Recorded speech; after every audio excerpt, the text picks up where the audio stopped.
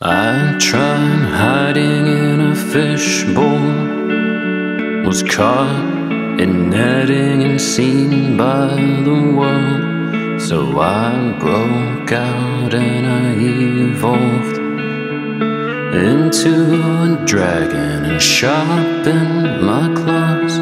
It didn't help that I was firstborn and thought the father some kind of After a fistful of bad metaphors, I knew I didn't belong. But am I also not made in the image of God? Bleary eyed and red faced master of Mekad. May be wrong, but I'm not Dorian. Just beat from scripture beaten aphorisms. Take it with a pinch of salt and basil, androgyny as a conscious placebo. The cracks in the bleachers bleed crepuscular, soul. But under the cold light of a projector, I lost all self control. So, how should I interpret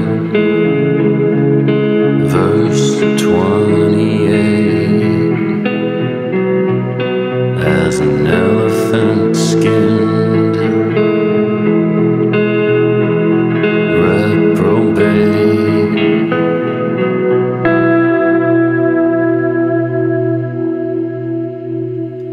Just because I call God by a different name doesn't mean that I don't know grace.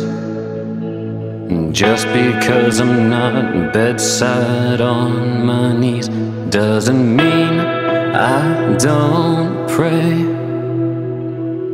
Can't you feel more religious? I'm doing best I can. But what if purpose is relative and there's no master plan? So I tattooed my sleeves like a Nancy boy with anthropomorphic bullshit and burdens past, but everyone always asks, but I fucking hate explaining their meaning. It's all so self deprecating, and I don't expect you to get it. It's just how I am.